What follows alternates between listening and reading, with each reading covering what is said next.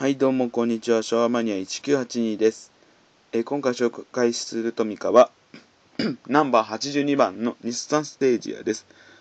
えーっと、限定品のトミカですね。スケールは62分の1、アクションはサスペンションとドア開閉です。えーっと、通常カラーは緑なんですけども、これは限定品、30周年の限定品のトミカとなってます。はい、では開封します。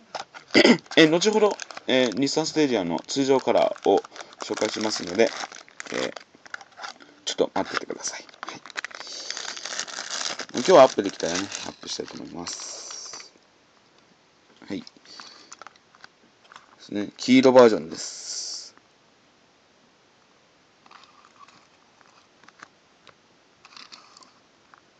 ステージ。通常カラーだと緑色になりますけど、これは限定品は黄色ですね。はい。で、ここに30周年のマークが書いてあります。ちょっとぼやけてますけど。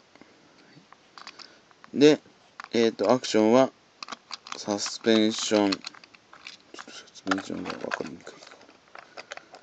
サスペンションと、あ、ここ違うか。すいません。えーっと、ここです。ドア開閉です。